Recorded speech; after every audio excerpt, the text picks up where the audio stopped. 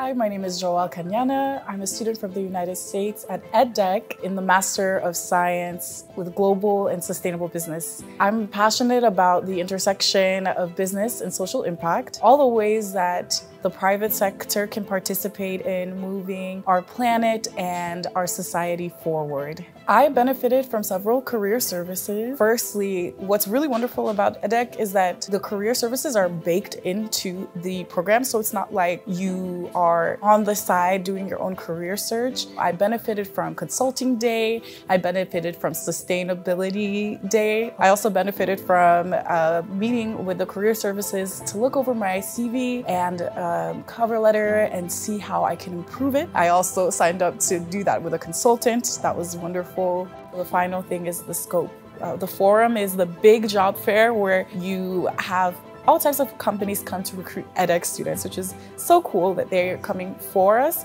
But the vast amount of companies that were there was incredibly impressive, and that's due to EDHEC's long history and incredible alumni network.